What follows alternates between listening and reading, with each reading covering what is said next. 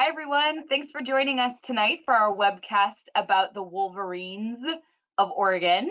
And it will become clear why in all the promotional material for the event, I put the S in parentheses. So I do think our presenters will probably cover that one way or another.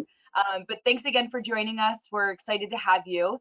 And before we do turn it over to the main presenters for the evening, Kayla Dreher and Scott Shively, field biologists for the Wallowa Wolverine Project, I'm just gonna give a couple remarks and do a bit of typical webcast housekeeping. So um, for those who don't know, my name's Danielle Moser. I'm the Wildlife Program Coordinator for Oregon Wild.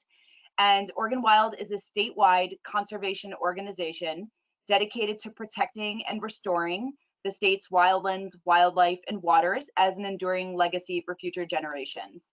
Um, within the wildlife program, which is what I work on, um, we do a number of things, but just to give you kind of the high level overview, um, we're mostly focused on advocating for the return and the recovery of keystone native species, imperiled species such as sea otters, wolves, wolverine, California condor, marbled murrelet, really the list goes on, but that just gives you a quick snapshot.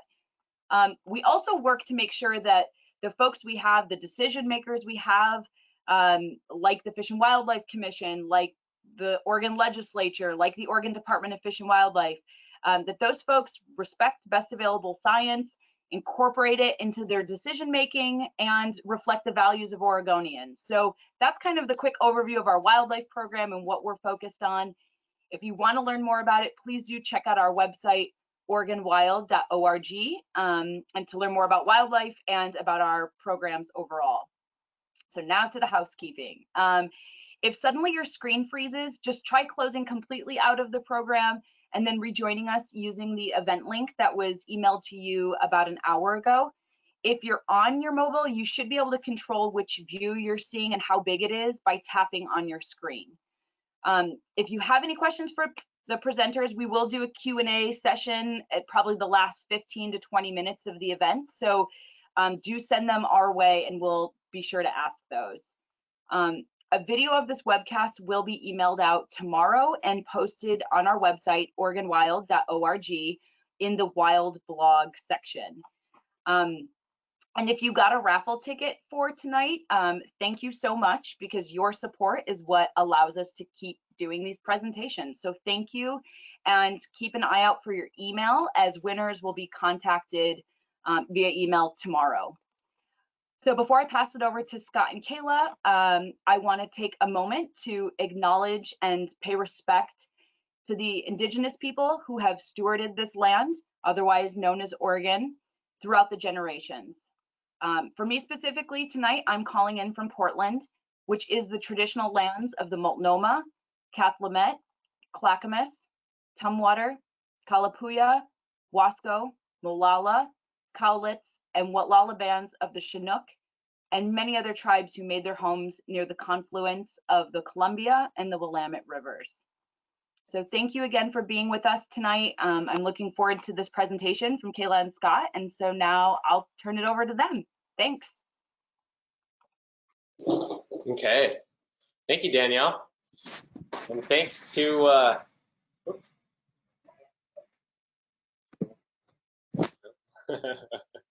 Oh, sorry, guys. oh, go ahead, stop. Well, yeah, man, thank you for everyone who tuned in. Um, looks like we're up to 270 people. Holy cow. Um, yeah, we're excited to be here and uh, to share uh, some information about Wolverines with you and tell you about our project. Yeah, um, we're, again, so excited that so many people tuned in and hope you take away uh, some new information or uh, learn something new about Wolverines. Uh, Scott and I started working with Wolverines on research projects in the Cascades, uh, in Washington Cascades. And since then, our work lives have been very much dedicated to uh, learning more about Wolverines and finding ways to promote Wolverine conservation. Um, and so last year, we partnered with the Oregon Wildlife Foundation to conduct Wolverine surveys in Northeast Oregon. Um, Oregon Wildlife Foundation has been a, really a driving force for wolverine research in Oregon. Um, they supported surveys in the Wallowas um, eight years ago and conducted a large survey for wolverines and other carnivores in the Cascades several years ago. Um, so tonight we're going to touch on the conservation needs of wolverines in the lower 48 states, um, give a, some background and status about wolverines in Oregon, and describe the work we've been doing in the Wallowas. Oops. There we go. Sorry, new program that we're not super familiar with. There we go. We, we also wanted to start with the land acknowledgement um, to recognize the Nez Perce people and the enduring relationship that they have with the Wallowa Mountains, um, which is where we conduct our work. Uh, if you're interested in learning more about Nez Perce history and culture in Northeast Oregon, I encourage you to check out a fantastic reading list um, from the Nez Perce Wallowa Homeland website, um, and that's linked at the bottom of the slide. Another cool thing is that the Nez Perce word for Wolverine is carrier of snowshoes. I think that's really fitting. Um, we also like to acknowledge our project partners, uh, Oregon Department of Fish and Wildlife and the Wallowa National Forest over there in Northeast Oregon. Uh, they both provide a ton of field support, loan cameras and equipment, and ODFW provides snowmobiles for us to use to check our cameras in the winter and uh, stock packing support in the fall, get all of our gear uh, out set in the field. Hey, Kayla and Scott, it's Danielle. It seems like your audio, I don't know if you all backed up a little bit on accident. I, if, if you could try to get a little closer, your audio all of a sudden just started like going in and out. So thank you. Okay. Shoot, okay. Can you hear us all right now? Yeah, that's much better. Thank you. If you could be awkwardly close to your computer. All right. um, so yeah, just a little background on wolverines um, for those who aren't very familiar. Um, wolverines are carnivore in the Mustelidae family, so that's the weasel family, um, and that's the same family that other species like otter and marten and skunks are part of. Um, wolverines are found at northern latitudes around the world, um, but in the lower 48, wolverine habitat is largely found on public lands and protected, protected wilderness areas in the Rockies and Washington Cascades. Um, the lower 48 is the most southern part of um, the wolverine's distribution. Um, so wolverines, they only weigh between uh, 20 to 40 pounds, and they're not typically a species that causes conflict with humans in North America. Um, they don't really predate on livestock here. Uh, they're primarily scavengers of ungulate carcasses like elk or mountain goat, and they hunt uh, small mammals. Um, wolverines defend very large territories relative to their body sizes, and um, they're characteristically always on the move. Um, they're very elusive, and they're known for making uh, huge dispersal movements. Um, wolverines are very rare, and they'll have uh, they naturally have um, low population densities. So um, because of their remote habitat and their low numbers, there are aspects of wolverine ecology that aren't very well understood. Um, and also because they're so rare and they inhabit these striking landscapes, um, there's a big sense of mystery and excitement about wolverines.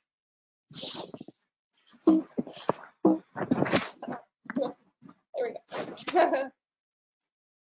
So wolverines have a very close connection with snow. They're a snow adapted species. Um, they have large snowshoe-like feet and frost-resistant coats. Um, and the snowy habitats that they live in are relatively unproductive when it comes to food resources. Um, those, those would be like ungulate, like deer, or elk carcasses on the landscape.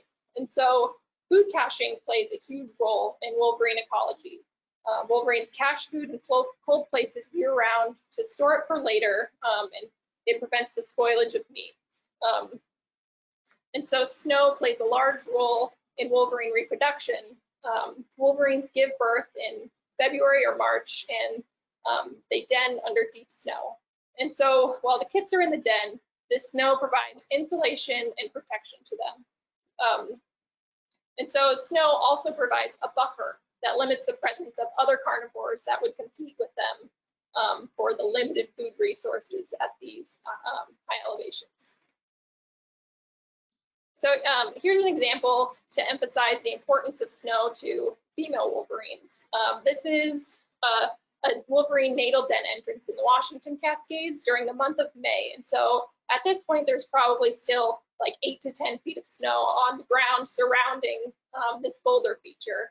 Uh, and so uh, that this wolverine was den.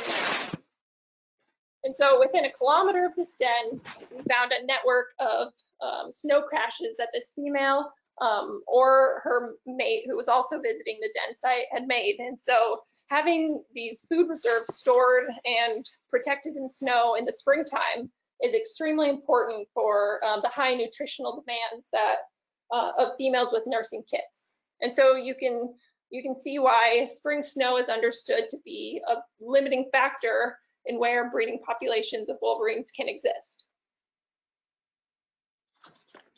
So um, a close relationship with snow means that climate warming um, is a threat to wolverines. So um, historically, wolverines were almost completely removed from the lower 48 states uh, during the 1900s due to fur trapping, predator poisoning, and livestock, over, livestock overgrazing in the western mountains. And so that declined a lot of um, their uh, causes population declines to some of their prey species. And so wolverines have been slowly recolonizing portions of their historic range. Um, and so because wolverines are so specialized to mountain ecosystems, they are vulnerable to alterations in these habitat types um, that may occur because of climate warming. And so that would be um, changing vegetation that affects small mammal populations, the loss of that buffer that um, keeps out other low elevation carnivores like coyotes, um, and a potential concentration of winter recreation um,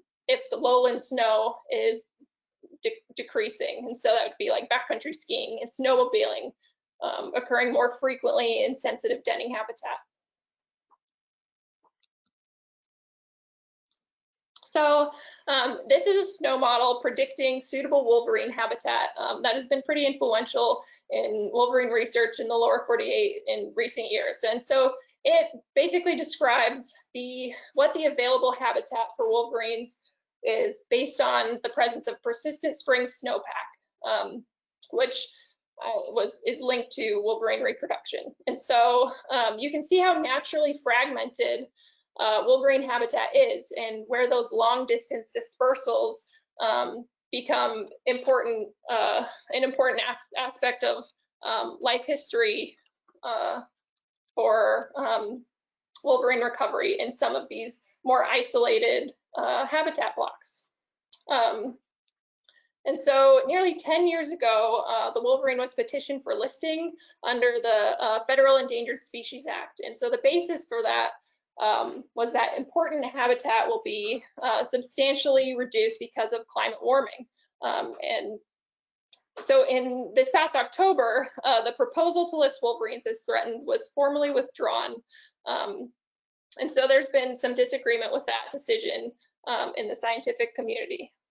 Um, and so here you can see uh, the Eagle Cap Wilderness, which is in the Wallowa Mountains, which is um, our study area. And then the nearest breeding populations to um, of wolverines to, to our study area are in the Payette National Forest in Idaho, which is less than 100 miles away. So um, for wolverines who have um, like home ranges of hundreds of square miles, that's really an easy dispersal distance um, from the, for them. And then there's also uh, Mount Rainier is around 250 miles away. And so, but there's a lot of um, area between that, like low uh, elevation sagebrush, um, more deserty, deserty um, not very good dispersal habitat between there.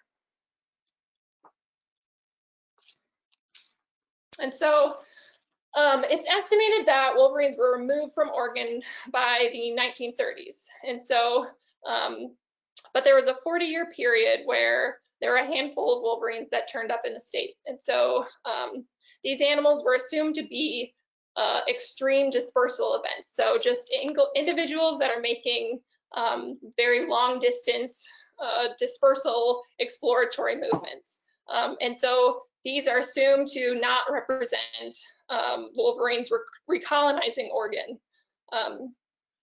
And so wolverines are known for really long dispersals from the areas that they were born in, uh, so they can really turn up anywhere while they're making these exploratory movements to find a suitable territory. So that's that's exciting that you can um, come across the wolverine um, in not in habitat that's not very predictive of wolverines, but it doesn't mean that that animal is local to that area, and it's also very rare. Um, so in 2011, uh, multiple wolverines were discovered in the Wallowa Mountains um, in Northeast Oregon, and um, this suggested that there were uh, was a small population inhabiting the northeast corner of the state.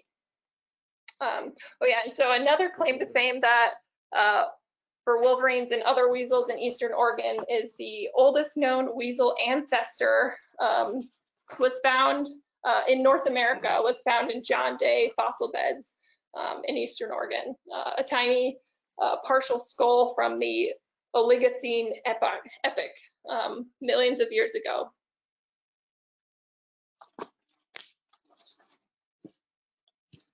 So um, in 2011, a longtime Wolverine researcher Audrey Magoun um, became interested in conducting surveys in the Wolverine er, in the Wallowa Mountains. Um, the Wallowas appeared to have uh, suitable Wolverine habitat, and it was within reasonable dispersal distance from um, nearby breeding populations in Idaho. So she and her husband Pat, uh, who's also a biologist and a pilot, conducted systematic surveys for wolverines using remote cameras and aerial flights to search for tracks.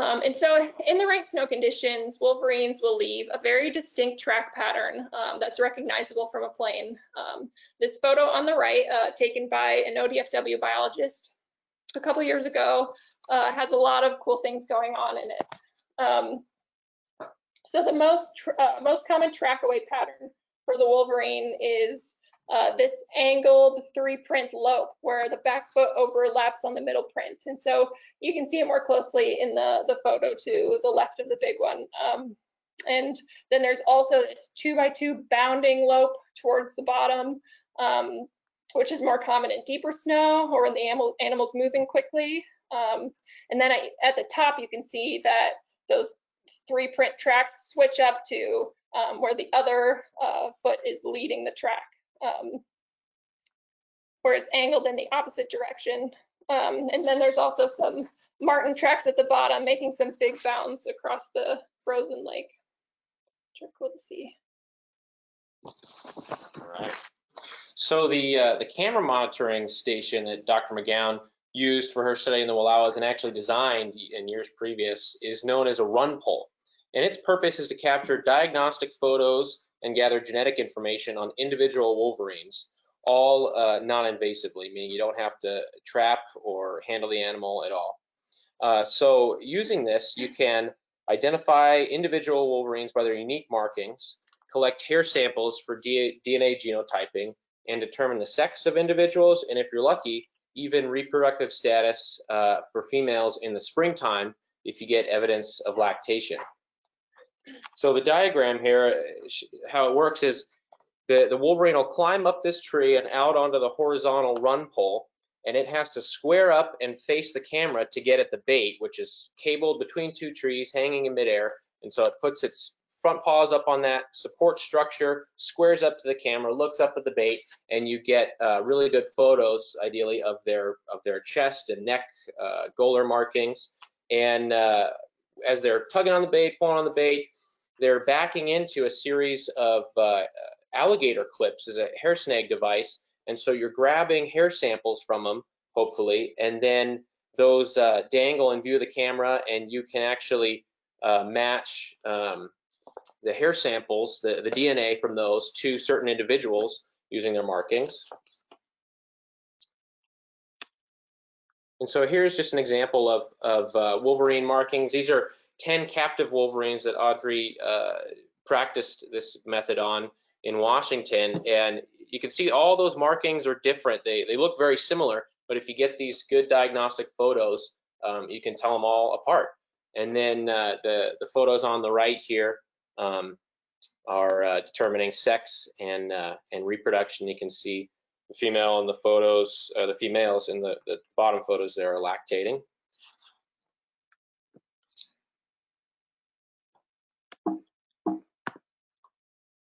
So here's kind of an up close view of uh, the hair snag device here. And this all the this black plastic here is it's called ultra high molecular weight plastic and it's super strong stuff. It can stand up to bears up there climbing around, jumping around. It, will bend over almost almost horizontal and pop right back up. Um, so it's pretty bomb proof stuff. And so you've got your alligator clips uh, kind of drilled and glued into those and they're all hanging on little lanyards. And so when they're sprung, they they've got hair on them and they're hanging there and no other wolverines uh, are gonna are gonna put hair in those clips. So you can you can see in the photos, you know, Wolverine A triggered clip, you know, uh, left left top or whatever, and uh, and you can match um, that DNA to those individuals. And we'll kind of show you a video here um, of one of these in action. This is a video of Stormy, uh, nickname Wolverine, back in 2012 uh, on Audrey's study. I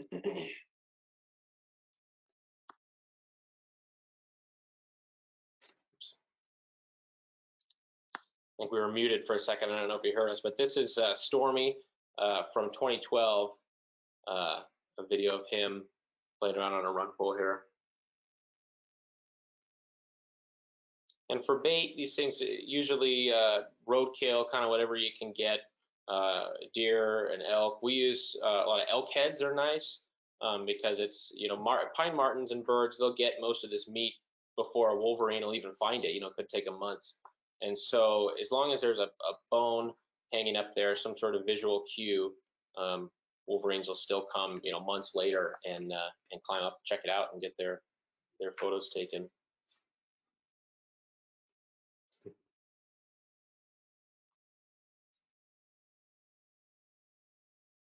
It's kind of lucky to capture him running in the background there.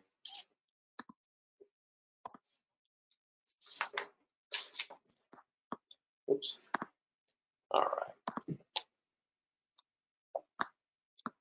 Okay. So the this is back to Audrey's findings here. So in her first year, she detected three different individual wolverines. And uh, Two were conclusively identified as male. Stormy was an adult male at the time, meaning he was at least two years old. And uh, this Wolverine on the right, Zed, uh, was was probably less than two years, young male. And then a third a third individual, Iceman, he never never stood up on a run pole to get those good photos. It could could be a young male based on the photos that she did get, um, but inconclusive. It could it's possibly could could have been a female Wolverine. Um, you can see he's got white toes in that photo there as just another diagnostic marking that Wolverines get sometimes. Um, they can have white toes or feet or even a whole white arm or shoulder.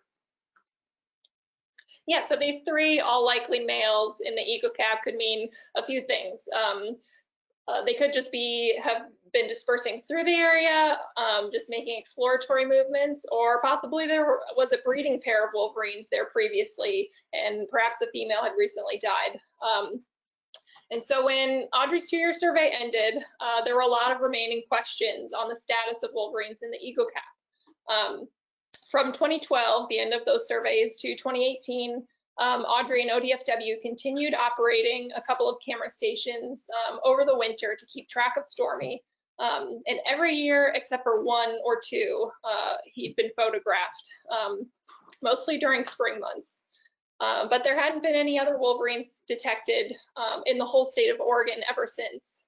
Um, and so Audrey's surveys identified the need for um, a long-term wolverine monitoring plan in the Wallowas to understand what the population dynamics are in this um, somewhat isolated habitat block. And so do breeding, uh, breeding populations periodically occur there and then just blink out or um, will the Blue Mountain region, um, which the Wallowas are within, um, will they ever support breeding wolverines? And um, in the future, will they reduce that gap between the uh, of wolverine habitat between um, the Rockies and the Cascades?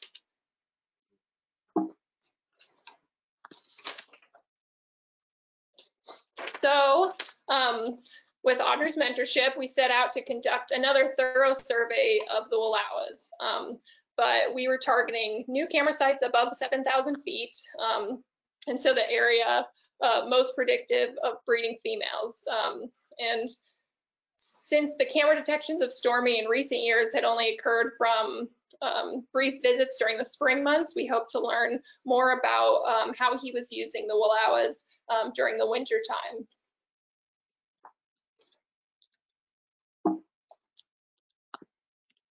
Oops. All right, so here, kind of the scope of our uh, camera effort here with the pilot season last year. Um, yeah, you can see we, we really wanted to cast a wide net over the Wallowas since it'd been, you know, almost eight years since there had been a, a big concerted effort with a whole bunch of cameras out there. And so, you know, it's possible that there could have been other Wolverines traveling through or even residing in the Wallowas that, that weren't detected in those other years. So we really wanted to, to hopefully know for sure. Um, and so we were targeting high elevation habitat um, and just looking for kind of full coverage, even distribution uh, across that habitat and the eagle cap and the Wallowas. And actually you can see um, one station uh, further east towards Hell's Canyon there that was, it's kind of, it was kind of an exploratory idea. It's like, well, it could be a possible dispersal route uh, for Wolverines hopping over from Idaho. Um, and so we set an extra one there just to see if we'd catch anything. Uh, so we ended up with 14 run pole stations uh, that were deployed in the fall months in October and November. And then we checked the accessible sites during the winter and early spring months into January and even May. And uh, we took down our cameras this summer, mostly in July. Uh, here's some photos from uh, fall deployments. We got a, a ton of help from ODFW who packed us in on horseback with their stock program for for a handful of our sites, which was a huge help because you think about all the gear uh, it needs to go in here, bait and cameras and tools and materials to set up these run poles, particularly. Um, so it was great to have have help with the horses to carry that stuff instead of us for all of these, especially overnight trips. Um, and we set stations, you know, late in the fall because we're trying to race the snow. You know, we're hoping for colder temps to keep bugs off of our bait or keep them from rotting, and hopefully bears are thinking about going away and hibernating for the winter and not not going to be messing with the stations. And so it's always kind of a race where we're seeing how late we can go and set them towards winter. Um, and then uh, and then the hard part is just letting them sit and do their job for a couple months uh, until until midwinter when we're going to want to get in get back in there and and try and check some of them. And some of the stations actually are are by design are purely over winter. You know, about actually about half of them we set in the fall and they're either so remote or the the routes are too dangerous, avalanche prone that we set them once and then they're hopefully they do their thing all winter long and we'll get them in the summer. Um, but for the the accessible ones that we did check, we started in January and uh, it, it requires snowmobiling and then snowshoe, snowshoeing or skiing, um, sometimes camping to reach our sites. And we did kind of two stints. We did a trip in mid-January um, and early February, checked a handful of stations, and then again uh, February into early March and checked the rest of them that we wanted to all once. And then, of course, COVID hit in March, and you know we were quarantining along with everybody else, and uh, and things kind of died down. But we were able to once we felt it was it was safe to kind of move around again. We were able to check a few more uh, in May also. And so the, the objectives for um, checking these winter cameras are just to retrieve photos, SD cards, change batteries, make sure cameras are working properly, um, and then re reapply the the uh, meat bait and scent lure, make the sites more attractive, and uh, also more opportunities to, to be out there and survey for Wolverine tracks. Here's some other photos from the winter checks here. A couple overnight trips. Um, yeah, man, Wallowas are a gorgeous place to be in the winter. Um, just really fun to get out there and, and find some solitude and really rewarding, even though it can be, you know, deep snow, hard work um, some of the time. But it pays off when you find what you're looking for. And almost uh, as soon as we started checking cameras, I think it was the second one that we checked in January, we had Wolverine photos.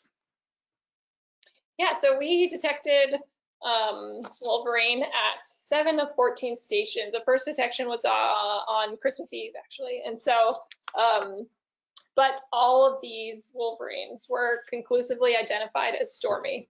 Um, so we did not find any new wolverines, unfortunately. Um, but we detected Stormy a lot of times. There were 30 separate days that we got him on camera, um, and at least one detection during each month in our 10-month uh, camera operating um, period. And so um, we have a video for Yeah, yeah, we do. Well, yeah. another interesting thing, if you look real closely at some of these photos, you can tell that Stormy's missing some claws on his right foot. He was caught in a leg hold trap accidentally in 2012, and uh, the state um, came out and and released him.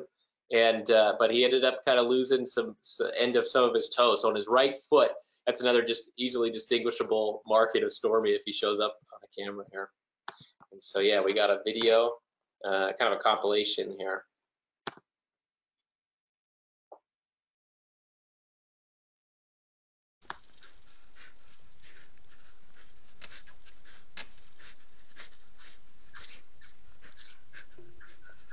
Here's Stormy at one of our stations in the spring or early spring.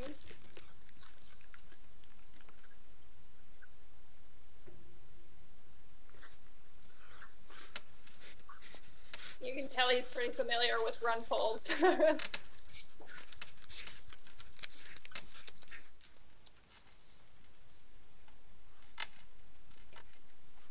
He's definitely looking uh, his age, I think, kind of working gingerly on these. I mean, we've seen other Wolverines in the in Washington Cascades be much more acrobatic on these, so we kind of we feel bad for hanging our bait so high and making them work so hard.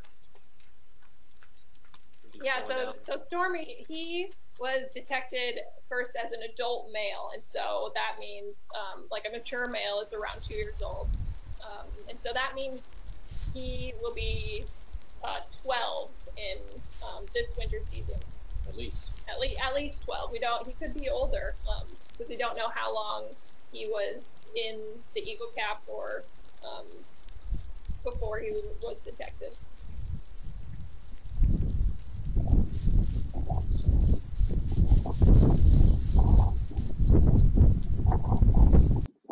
And so with this video, we had um, we had buried an elk head about four feet uh, under the snow um, to see if he would start digging it out, but um, he didn't.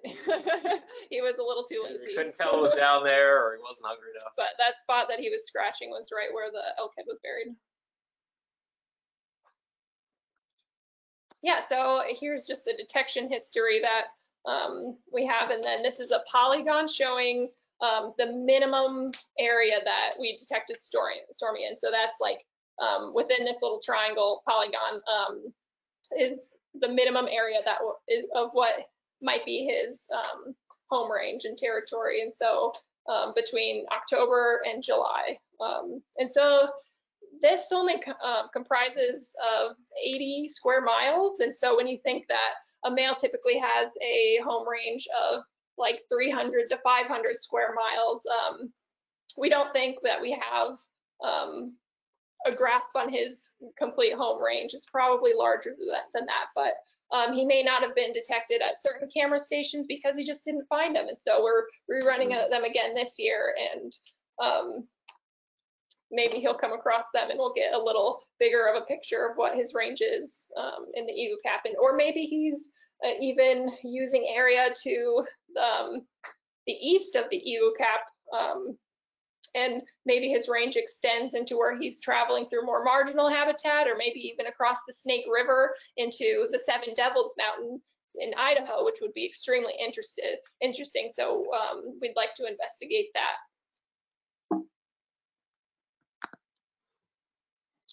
And we also detected a whole slew of other species, um, including but not limited to Pacific marten here, Rocky Mountain red fox, uh, bobcat, cougar, and gray wolf, all at one station. It was that lower elevation station uh, towards Hell's Canyon there.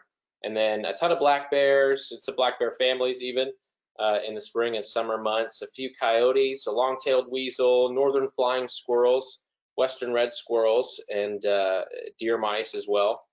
Um, ungulates, there were deer and elk sometimes along the background of, the, of uh, some of the cameras in the summertime. And then a whole bunch of bird species like Steller's jays, Clark's nutcrackers, Canada jays as well. Uh, we got a couple of videos of other species here. I'll do this bear family. It's kind of cool.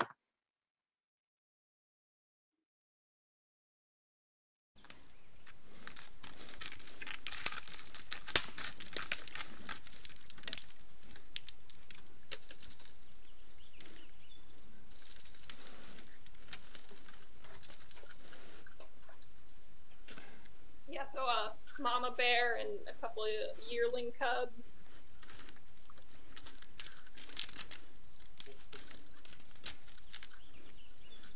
Yeah, luckily these run poles can support quite a bit of weight.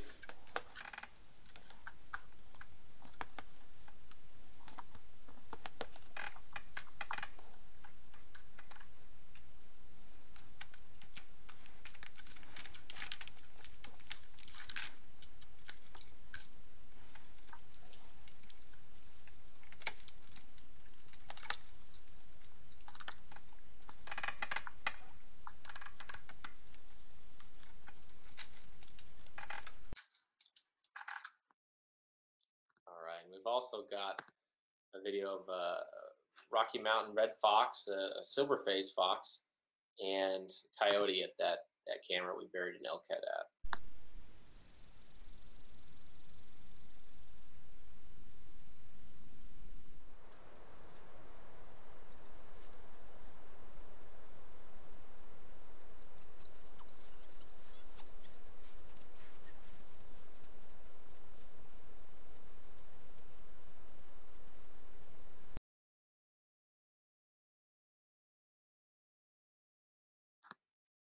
All right. Yeah, so um, after reevaluating um, the wolverine habitat in the Wallowas, um, we conclude that it's uh, unlikely that there are other resident wolverines in the area. Um, while there's been wolverine presence here in the Wallowa Range for nearly a decade, uh, or at least a decade, um, uh, this presence doesn't have any impact without resident females. And so um, Stormy's at least 11 years old, uh, which is definitely considered a senior age for a wild wolverine. Um, and at this time, he represents the entire known wolverine population in the entire state of Oregon. Um, and so we're going to continue monitoring him to collect as much information as we can um, on the understudied reproductive strategy that he represents, which is the establishment of lone males in territories without females. Um, and also a big takeaway um, from our pilot year of surveys is that we have a much more comprehensive updated information on Stormy's presence um, and his space use in, in the will allow us to um, provide to our Forest Service partners.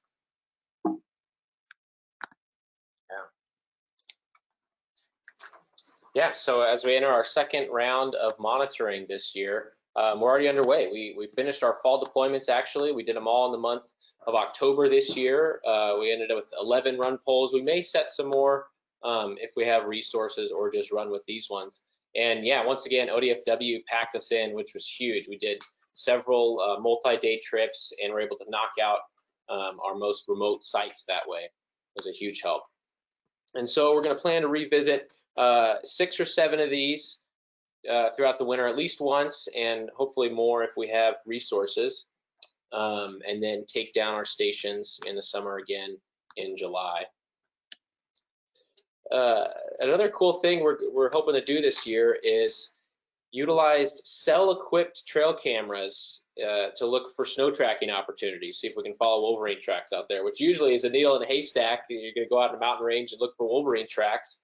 Uh, but we got this secret weapon. These things are really cool. We've been gifted a few of them. We have two of them running right now, and you can see this photo on the right uh, was from today actually. So so they when they have cell service, they'll send you a message through this app, and you can view the images pretty much in real time um, when you get them. So here we are November 18th today, there was a pine marten at one of these cameras. So no wolverines yet, um, but that'll be a neat thing to try and see if when we get wolverines visiting, um, maybe we can wait a day or two so as not to disturb them. And then if, if conditions, tracking and snow conditions allow, um, we can get out and follow or backtrack them, try and collect scat samples, uh, urine samples, and then take GPS routes of their wanderings and just try and learn more about wolverine movement uh, throughout the Wallowas.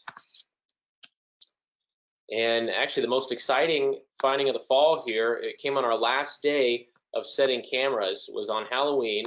Uh, we had some friends out helping and uh, we cut semi-fresh Wolverine tracks, great looking Wolverine tracks. So uh, really exciting to know that there's somebody still out there and roaming the Wallowas right now as we speak even. Um, and it it could be another Wolverine, but we're kind of leaning, to, leaning towards Stormy. It's hard to tell from these tracks and the condition, but some of those that should have been a right front paw kind of look like they're missing some claws or toes or kind of hard to make out. So it's likely that it is Stormy, just given that he's he's been the only one around seemingly for a long time. But we're hopeful. Who knows? Could be could be somebody else as well. Yeah, so while we're out there um, in remote carnivore, carnivore habitat throughout the winter, um,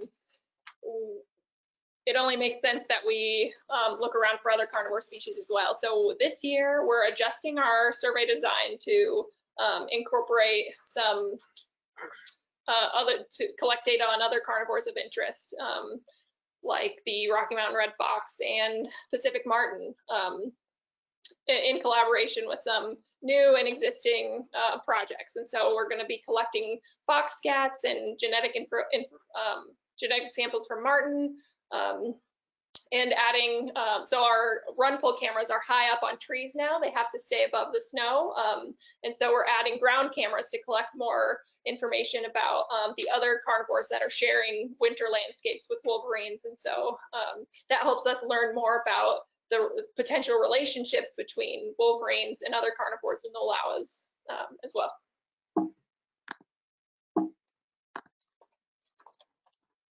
Yeah, and we're also hoping to maximize the, the impact of, of this project effort and uh, do more outreach, like talks like this. We'll, we'll give another one for Oregon Wildlife Foundation um, coming up. And then hopefully some educational opportunities. We're already working with uh, Greater Oregon STEM Hub, has a bunch of counties in Eastern Oregon, and we we uh, we're going to make a, a, short video for their Explore Science Club um, that'll go out to third and sixth graders in the region. And it's a career-connected learning curriculum, so give students an idea of what kind of careers are out there um, in the STEM world.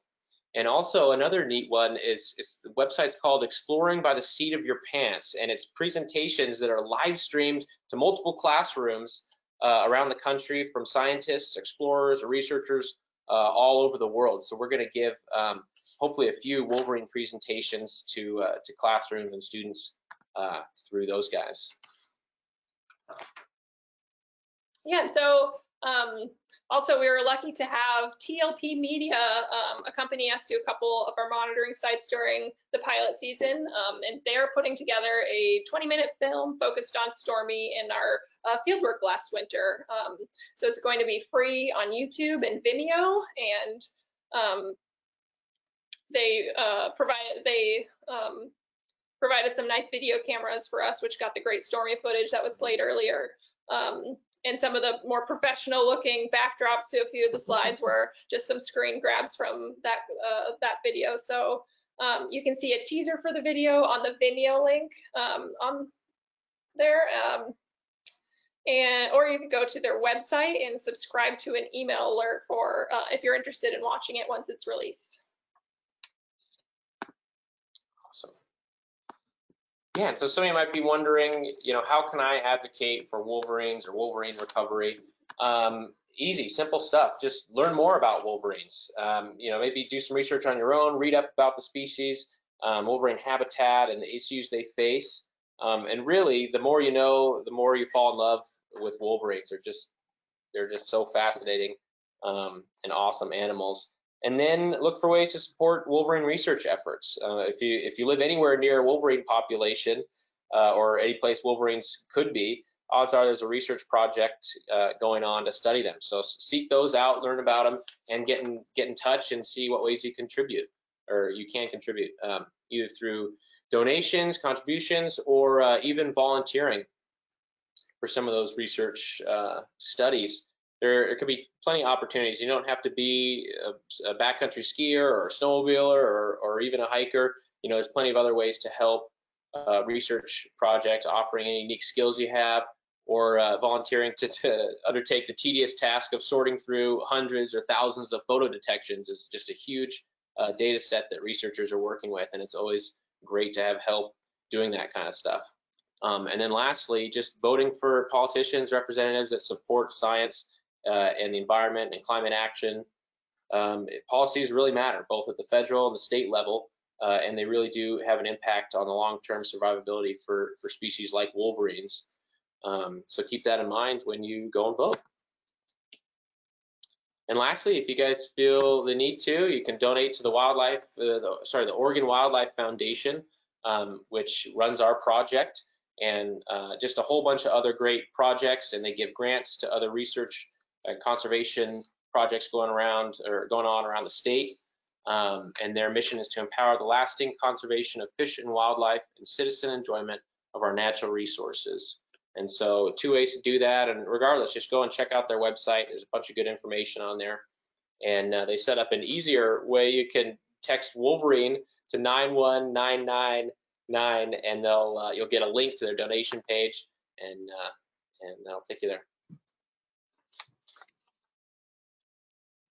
All right, well, yeah, thank you for um, listening and we'll take some questions now. Hopefully we didn't go too much over time. no, no, you did great. Thank you again so much. That was wonderful. I uh, particularly, it wasn't the Wolverine video, but I really liked the coyote. Like, wait, I know I smell an elk head, but like, what? where is it? It's just really funny. um, yeah, we have a lot of great questions, so let's get right to it. Um, awesome.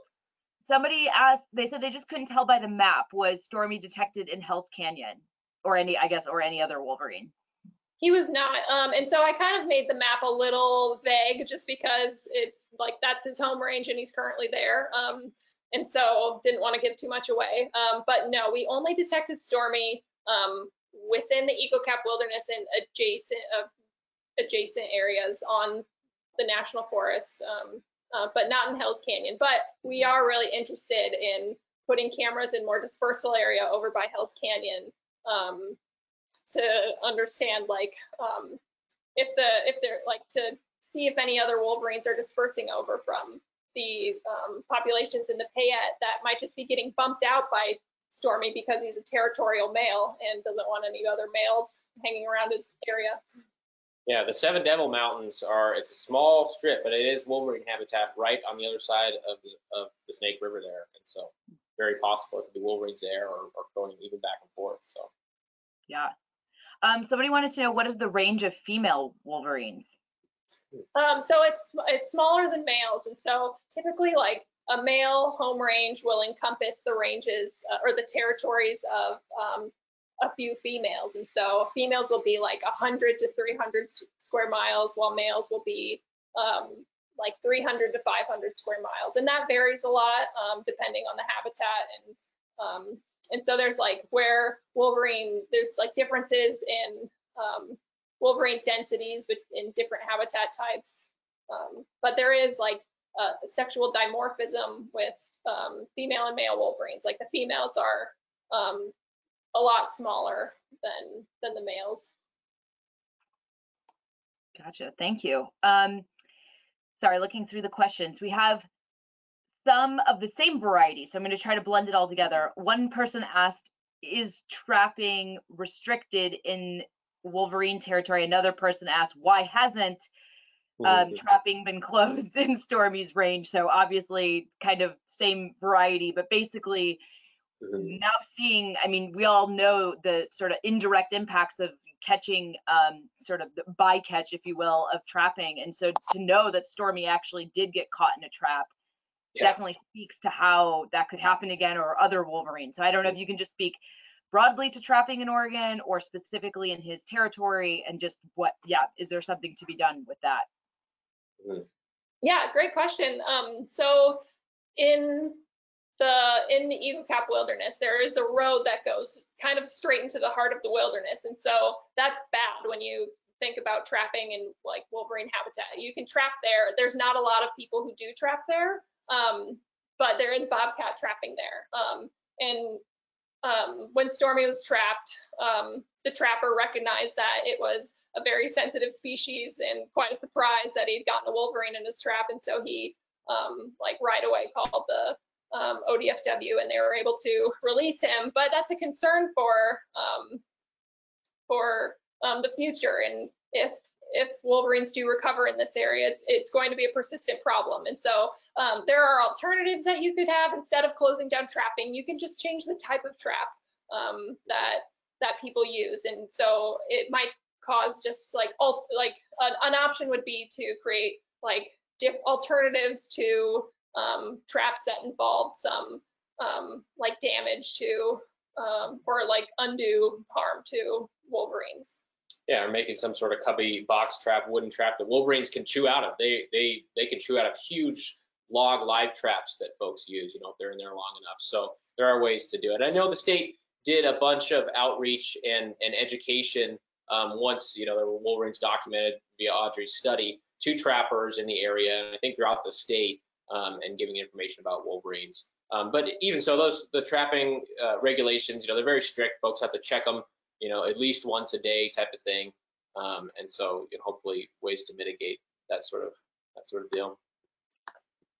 Yeah, thank you. Yeah, so I guess I'm also curious. So there's not even a restriction on wolverine trapping necessarily. It's not even just people setting traps for other things. It's not even like wolverine trapping is illegal. Oh yes, wolverine trapping is illegal um, Okay. throughout the um, the lower 48, and so um, there was uh, the there there's a trapping season for wolverines in Montana that is on hold right now, um, and so that hasn't occurred for um, I don't know how many years, but um, there's currently no trapping no trapping for wolverines in. Gotcha. Okay. Just wanted to clarify that because I realized even in asking my question, I'm like, wait a minute, there's also, there's just Yeah, traps for other species that wolverine get caught in, but then there's, it, was there actually even restrictions on wolverine trapping? Um, let's see, going through. Do wolverine have a positive impact on the ecosystem? Are they a keystone predator in any way? Yeah, so this I was wondering if we'd get this question. So um, wolverines are never in high enough abundance to cause to to um, cause like ecosystem services. I don't think. Well, I don't. I don't want to say like never in high enough abundance because there's like places where they could be like an apex predator because all the other like larger predators like wolves have been removed. Um, so um, as scavengers, they um, scavengers have a lot of benefits to the ecosystem as a whole, um, like um, getting rid of carcasses on the landscape, um, and um, which like contains disease. Um, and so, um, yeah, the the the loss of wolverine, wolverines don't have like a cascading effect on um, other species in the ecosystem per se, but um, it's more of a I guess a cultural like Yeah, the, the wildness factor. I mean, it's, it's very exciting. I mean, half the people you talk to about projects like this say, oh, I didn't even know there were wolverines in Oregon. And so it's exciting for people to know. It makes it feel a little more wild if you're out there, you know, that you, maybe you could see one or just to know that they're around or they could be around. Um, it's, yeah, it's really yeah fun. there's a huge value to having um, your whole your complex of um, carnivores on the landscape um, Amen. we agree. Are there plans to reintroduce Wolverine or a pair of Wolverines to the area, to the Wallowas or anywhere else in Oregon that you know of? Um, so this is the topic that comes up periodically, it seems like, um, in regards to Oregon and other places where single wolverines have been found, like in California, where there was a lone male for 10 years um, in the Tahoe area, or Colorado, where a male was there for five years and then moved on and was shot in North Dakota. And so it's it's um, it's uh, the conversation about um, reintroducing wolverines into Oregon has been had, but it hasn't been um, it hasn't like gotten much of a foothold. Um, since the Wolverine was um, petitioned for listing as an, a threatened species with ESA protections, there's a little hesitancy to um, put an animal on, um, like create a breeding population in Northeast Oregon, which might cause um, like some changes and restrictions in certain areas. So I guess that's where the hesitant hesitancy is for reintroducing wolverines. Um, but um, Yeah, and also just the, the, the factor that, you know, they, they can come back on their own as these guys obviously did. There were, there were, all of a sudden there were three Wolverines 10 years ago, you know, where'd they come from? So, and that, that breeding population of the Payette is, is so close in Wolverine terms that, you know, it's within their own possibility that they may reestablish a population on their own. So it's yeah, and so yeah. Justify. Yeah, and so the Wallowas are s- it's a small habitat block, and so and it is um, isolated, um, surrounded by um, less suitable habitat. So it's isolated, and so why haven't wolverines returned um, and made breeding populations? And so um, questions like that need to be investigated before um, before reintroduction happen, and investigations as to why why are animals from the Payette not coming over more frequently? Like look into um, the breeding population there and the status of that population. Um, And maybe food habits, are there enough prey resources to sustain yeah, some denning females in the Wallowas through the Mhm. summer months and stuff like that? Um, folks want to know just more about breeding in general. How many pups, if they're all, if they are called pups, if that's the right word. Um, yeah, just generally the breeding season. Like, yeah, what are we looking at in way of breeding and what's the survival and all of that? yeah. Um, so wolverines, they um, they mate in the summertime, and so then they um, the females have a delayed implantation where um, it's a fertilized egg, but it's just kind of in limbo for a while until um, it implants, and then um, the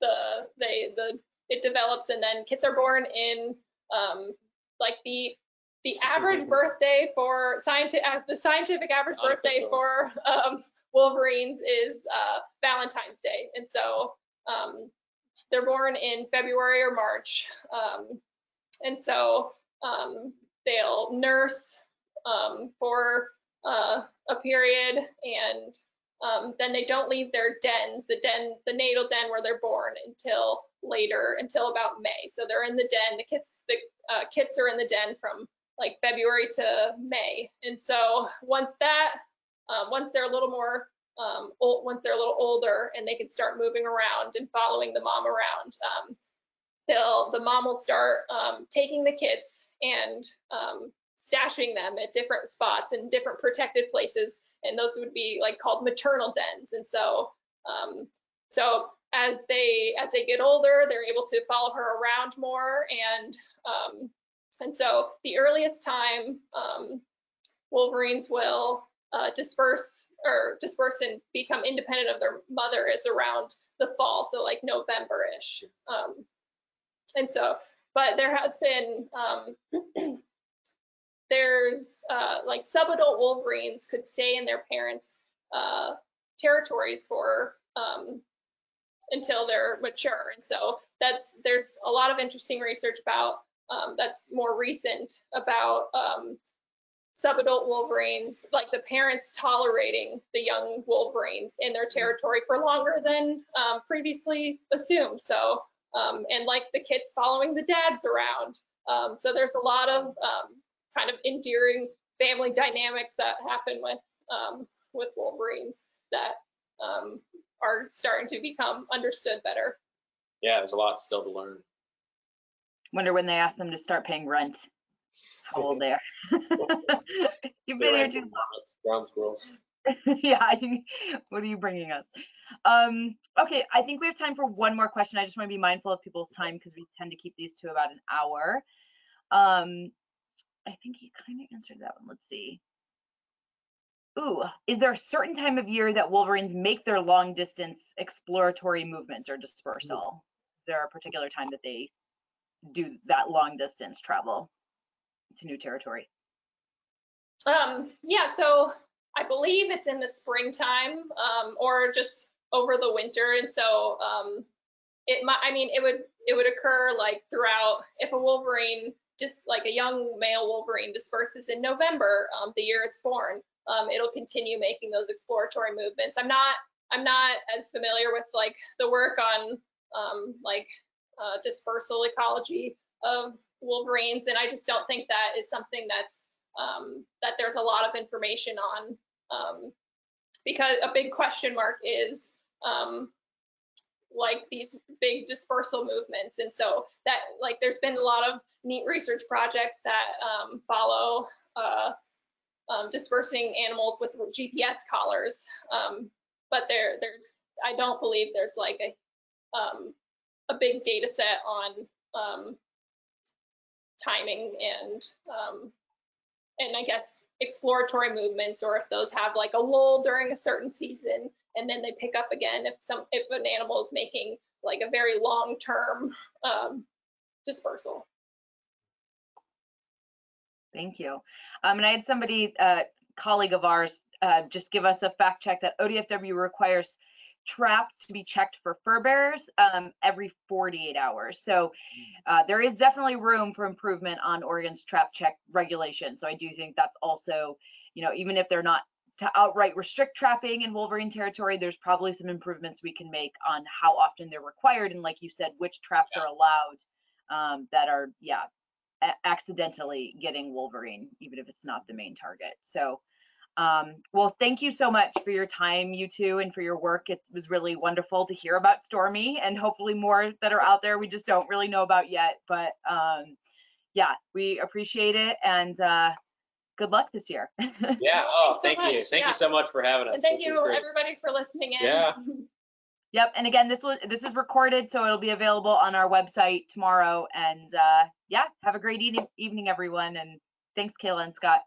Awesome. Thank you guys. On.